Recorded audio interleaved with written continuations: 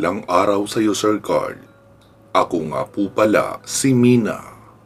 Dati ay nakatira kami sa probinsya ng Zamboanga bago pa kami napatira dito sa Pampanga. Tatlo po kami na magkakapatid at mga bata pa kami nang maulila kami sa ama. Tanging ang aming ina na lang ang nag-aalaga at nagtataguyod sa amin. Ako po ang sumunod sa panganay at nag-iisang babae. Noon pa man, gustong gusto ko na magkaroon sana ng kapatid na babae. Ang kaso po, hindi na nag-asawa pa si mama ko at itinuon na lang ang buhay sa pagtataguyod sa amin ng mga kapatid ko. Noong umidad ako ng 15, umanaw ang isa sa mga kapatid ng aming ina at may naiwan itong nag-iisang anak na babae. Tawagin na lang natin siya sa pangalang Ani. Dahil sa kami, ang pinakamalapit na kamag-anak sa kanila, kaya inako na ni Mama ang pagkupkup sa kanya. May ibang pamilya na rin kasi ang ama nito at hindi uubrang doon siya tumira dahil ayaw naman siya tanggapin ng kasalukuyang asawa ng kanyang ama. Tuwang-tuwa ako noon dahil magkakaroon ako ng kasamang batang babae sa pamilya.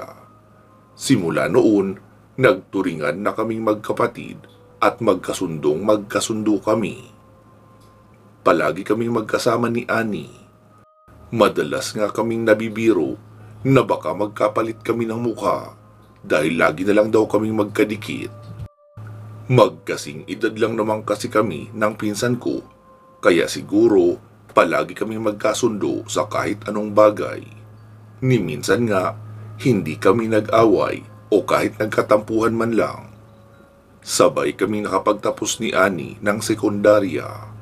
Hindi na ako nakapag-aral pa ng kolehiyo dahil sa kakapusan sa pinansyal, habang si Ani naman ay sinustentuhan ng kanyang ama hanggang sa makatapos ito ng kolehiyo. Sa totoo lang, may pagkakataong nakakaramdam ako ng inggit sa pinsan kong si Ani. Dahil kahit nasira ang pamilya niya, nakapagtapos pa rin siya ng pag-aaral. Gayunpaman, masaya rin naman ako para sa kanya. Kahit nakapagtapos na si Ani ng pag-aaral at meron ng magandang trabaho, nanatili pa rin siyang nakatira sa amin. Maayos pa rin ang samahan namin kagaya lang din noong dati. Nang mga panahong iyon, nagkaroon ng nobyo si Ani at iyon ay si Nilo. Tagalugar lang din namin si Nilo. Guwapo ito at mukha namang mabait noong una. Palagi siyang ipinagmamalaki ni Ani sa amin. At nakikita rin naman namin masaya siya sa kanyang nobyo. Pero nagbago ang lahat matapos na magdalang tao si Ani nalaman namin na nagbago na ang pakikitungo nito sa kanya at tumangging panagutan ang sanggol na kanyang dinadala. Ayon pa kay Ani, itinatanggi rin daw ni Nilo na siya ang ama ng kanyang dinadala. Tuluyan na nga siya nitong iniiwasan at minsan na rin niyang nakita na may kasama na itong ibang babae. Magkahalong galit at awa ang naramdaman namin sa sinapit ni Ani. Lalo na noong mabalitaan namin tuluyan na siyang pinagtaguan ng dati niyang nobyo. Ang sabi-sabi, sumama na ito sa bago nitong nobya at tuluyan ang nagsama. Inis na inis din kami nila mama sa mga magulang ni Nilo dahil kinukonsinti pa ng mga ito ang ginawa ng kanilang anak sa pinsan ko. Dahil sa sobrang pagdaramdam ay dinugo si Ani dahilan para isugod namin siya ni Mama sa ospital. Pero sa kasamaang palad, hindi na nailigtas pa ang sanggol na kanyang dinadala at tuluyan na nga itong nawala. Dahil sa nangyari, naging tahimik at malungkuti na ang pinsan ko. Ilang linggo rin siyang hindi nakapasok sa trabaho at madalas nagmumukmuk lang siya sa kwarto namin. Nauunawaan naman namin ang pinagdadaanan niya. Kaya iniintindi na lang namin at tinutulungan siya sa kanyang mga pangangailangan. Ang buong akala namin, magiging maayos na uli ang pinsan ko noong magpasya itong bumalik na sa trabaho. Ang hindi namin alam, labis pa rin siyang nagtatanim ng galit doon sa kanyang dating nobyo. Nalaman ko ito noong minsang magpasama siya sa akin sa isang lugar kung saan may nakapagsabi sa kanya na naroon matatagpuan ang isang may kaalaman sa pangungulam. Noong una, hindi naman niya sinabi sa akin na doon pala kami pupunta. Nalaman ko na lang noong naroon na kami. Nagbayad siya ng malaking halaga matapos niyang makausap ang sinasabing mangkukulam para gawin ito ang gusto niyang mangyari. At iyon ay ang kulamin ang dati nitong nobyo na si Nilo. Hindi ako makapaniwalang makakapag-isip si Ani ng ganoong bagay para lang makapaghiganti. Pero makalipas lang ang ilang araw, dismayado siyang nagsabi sa akin na mukhang peke raw ang nilapitan niyang mangkukulam dahil wala naman daw siyang nabalitaan na may masamang nangyari sa kanyang dating nobyo. Inis na inis at nanghihinayang siya sa perang kanyang ibinayad sa mangkukulam na iyon. Gayun pa man, hindi pa rin siya tumigil sa kakahanap ng taong maaari niyang lapitan para kulamin si Nilo. Kung ilang ulit ko na rin siyang pinayuhan, natigilan na ang kanyang pinaggagawa.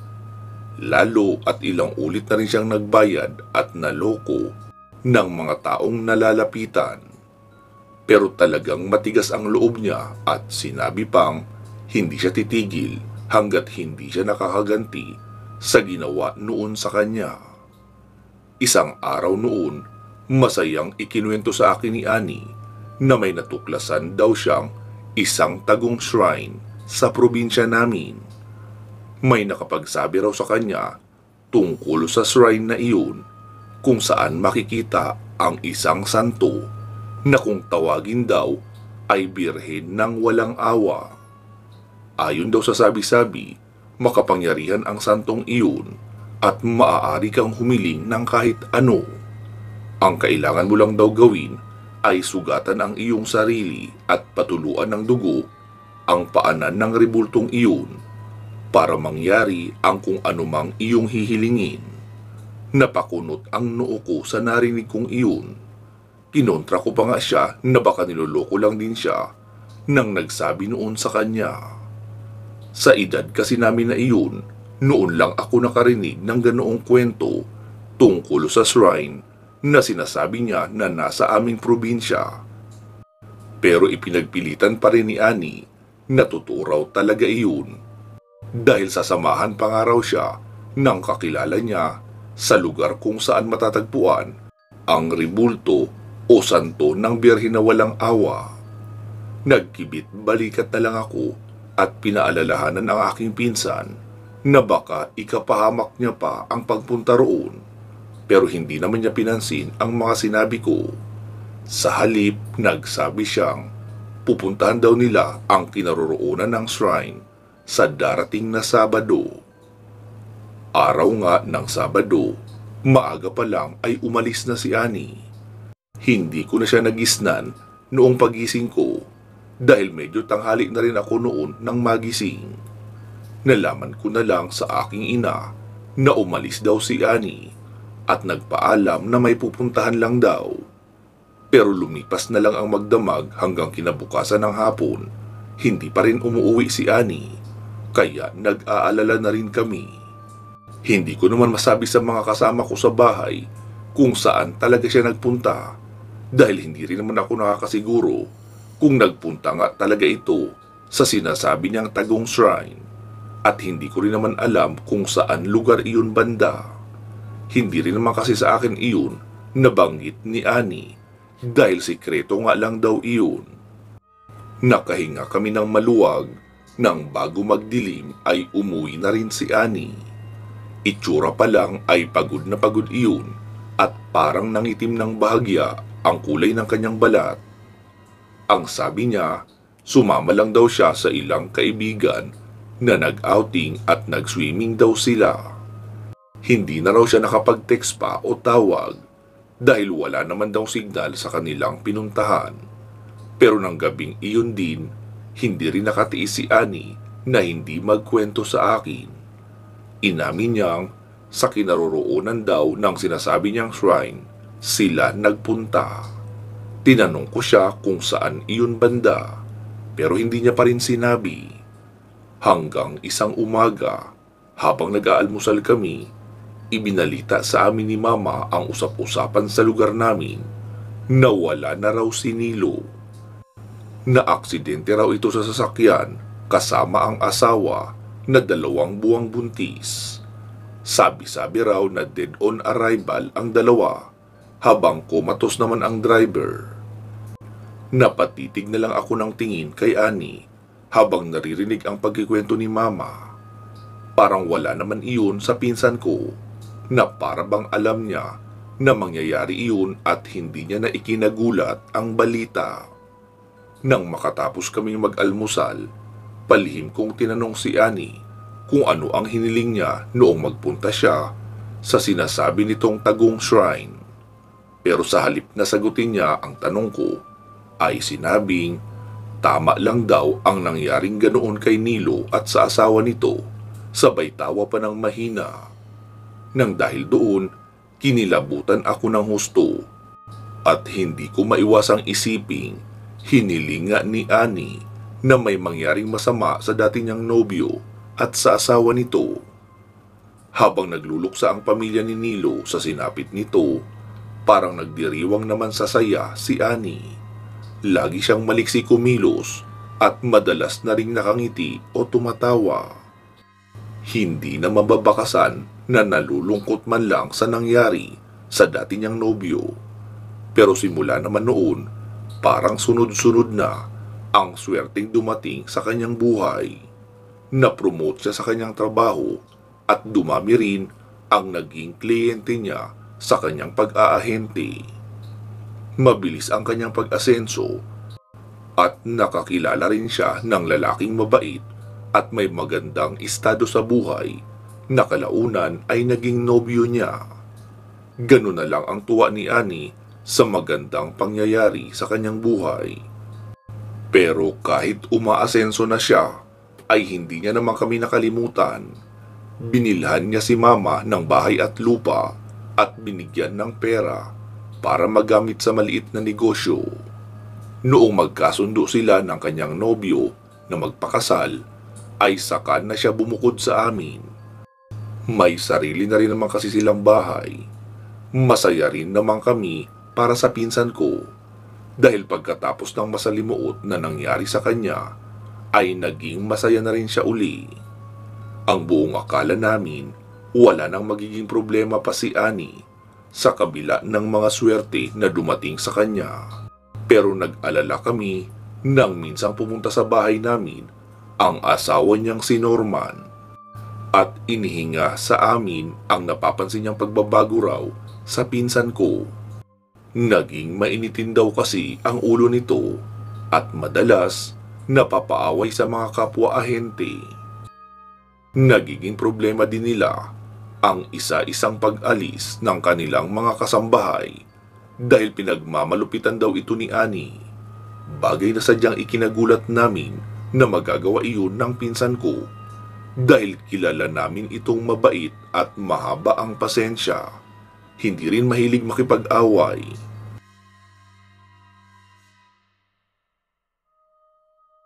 Ang payo ni Mama kay Norman ay laging kausapin si Annie ng masinsinan at unawain na lang din ito.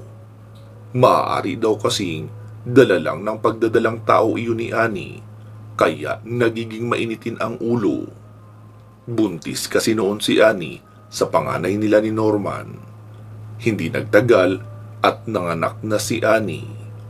Lalaki ang naging anak nila ni Norman at kamukhang kamukha ito ng ama. Dahil kinailangan ng bumalik ni Annie sa trabaho, naiiwan ang bata sa kinuha nilang yaya. Pero hindi nagtatagal ang mga nagiging yaya ng anak nila dahil minamaltrato daw ni Ani. Ang sabi naman ni Ani, hindi raw kasi inaalagaan ng mga ito ng maayos ang anak nila. Kaya nagagawa niyang pagbuhatan ng kamay. Habang naghahanap pa ng magiging yaya ang mag-asawa, nagpresenta ang aking ina na pansamantala siya muna ang mag-aalaga sa kanilang anak. Wala naman sanang naging problema kung hindi lang nagkasakit ng biglaan si mama. Nang dahil doon, hindi na niya nagawa pang maalagaan ang kanyang apo doon kay Ani dahil kailangan niyang pagtuunan ng panahon ang kanyang pagpapagaling. Nahinto ulit sa pagtatrabaho si Ani para ito ang mag-asikaso sa kanilang anak. Ang kaso, iyon daw ang pinag-umpisahan ng madalas na pag-aaway ng mag-asawa dahil palagi raw sinisigawan ni Ani ang anak nilang sanggol dahil napakaiyakin daw nito. Hanggang isang araw, isang nakakagimbal na balita ang natanggap namin. Namatay raw ang anak ng pinsan ko sa malagim na paraan at mismong si Ani ang may kagagawan. Napasugod kami sa bahay ng mag-asawa noong malaman namin ang tungkol doon. Pero sa mga oras na iyon ay nasa kulungan na si Ani dahil ipinakulong iyon ni Norman. Galit na galit ito sa asawa sa ginawa nito sa kanilang anak. Ayon pa kay Norman, galing daw siya sa trabaho ng araw na iyon at naabutan niya si Annie sa kanilang kwarto na tigmak ng dugo at hawak ang isang kutsilyo habang tulalang nakaupo sa kama nila. Dahil sa nakita ay sumulak daw ang kanyang kaba at agad hinanap ang anak nila. At ganoon na lang daw ang pangingilabot niya nang makita ito sa higaan nitong kuna na naliligo sa dugo at wala ng buhay. Kahindik-hindik daw ang sinapit nito sa kamay ng sariling ina. Maging kami ay hindi makapaniwalang magagawa iyon ni Ani sa sarili niyang anak. Nang makausap namin ang aking pinsan, ay agad naming tinanong kung bakit niya iyon nagawa. Ang sabi niya naman, hindi daw iyon ang anak nila, kundi isa raw iyong tiyanak. Dahil sa iyon ang paulit-ulit na sinasagot ni Ani, naisip naming baka nagkaproblema na ito sa pag-iisip. Hindi naglaon ay dinala ito sa isang psychiatrist at napatunayan ngang nasisiraan na ito ng bait. Kaya imbis na sa kulungan ay sa isang pagamutan ng mga may sakit sa pag-iisip, siya pansamantalang ipiniit pero makalipas lang ang dalawang buwan, nabalitaan naming nakatakas ito sa pagamutan at hindi maipaliwanag kung papaano iyon nangyari. Natuklasan din nilang dalawa sa kasama niyang pasyente ang labis na napinsala ni Ani at kritikal ang kalagayan ng mga ito. Dahil doon, pinaghahanap na ng batas si Ani. Walang makapagturo kung saan ito maaaring nagtago at maging kami ay walang ideya kung saan ito maaaring pumunta. Inisip namin baka nagpakalayo-layo muna ito at pumunta sa ibang lugar. Pero isang nakakakilabot na balita na naman ang nakarating sa amin. Binalikan daw ni Ani ang asawa nitong si Norman at pinagtangkaan ang buhay nito. Mabuti na lamang daw at nakakuha pa siya ng pagkakataong makatakas at humingi ng tulong. Nagtamo ng maraming malalim na sugat sa katawan si Norman matapos daw itong pagsasaksakin ni Annie. Dahilan para manatili din ito sa ospital ng matagal. Hindi naman sinwerting makaligtas sa panganib ang dalawa pa nilang kasambahay na inatake rin ito. Hindi naman nahuli si Ani ng mga pulis dahil mabilis din itong nakatakas at nakapagtago. Hindi namin alam kung ano talaga ang dahilan kung bakit biglang nagkaganoon ang pinsan kong si Ani. Hindi na rin namin siya nakita mula noon. Hanggang minsan, aksidente kong nakilala ang isa sa naging kaklase at kaibigan ni Ani noong kolehiyo pa lamang siya. At isang bagay ang nalaman ko mula rito matapos kong ikwento ang nangyari sa aking pinsan. Ayon pa sa kanya, isa rin sa kaibigan ni Ani ang kapareho ng sinapit ng aking pinsan. Bigla na lang din daw nagbago ang ugali at kilos nito hanggang pati ang sariling pamilya ay pinagtangkaan na rin ang buhay. Pagkatapos daw makatakas ay hindi na rin nila nakita pang muli. Ayon daw sa pamilya nito, dati naman daw ay tahimik at masayahin ang taong iyon. Nakapagtataka raw na bigla na lang nagbago ang ugali at kilos nito. Nabanggit din ng dating kaklase ni Ani ang tungkol sa pagpunta ng pinsan ko.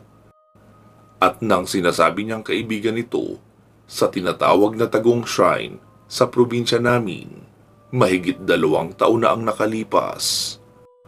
Nasabi rin itong dapat nga daw ay kasama siyang pupunta ng mga iyon pero hindi siya pinayagan ng kanyang lola dahil lubha raw delikado ang humiling sa sinasabing itim na santo na matatagpuan sa shrine na iyon.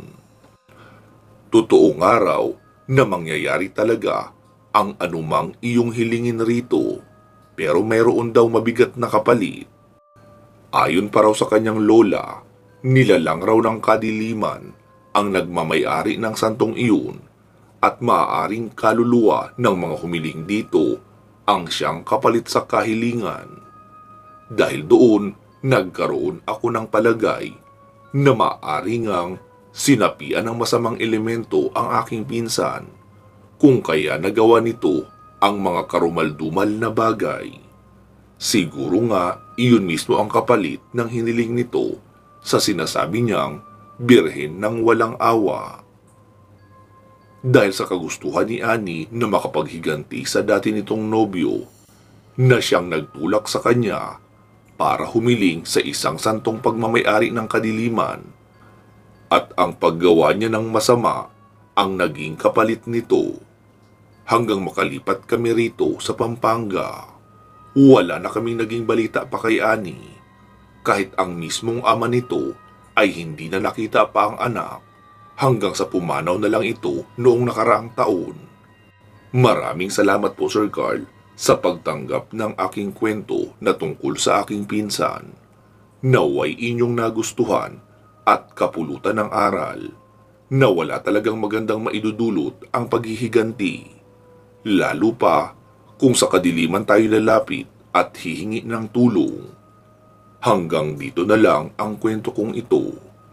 Lubos na gumagalang, Mina. Mag-iingat po kayo palagi at hanggang sa muli.